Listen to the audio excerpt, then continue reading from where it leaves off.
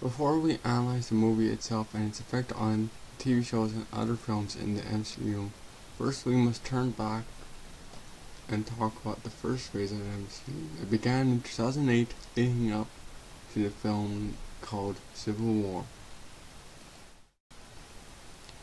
With the movie that had odds against it, Iron Man, about a billionaire turned savior himself, said he is Iron Man to the public, became a public hero.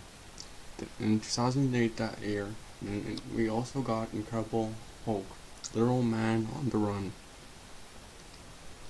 In 2008. 2010, we saw the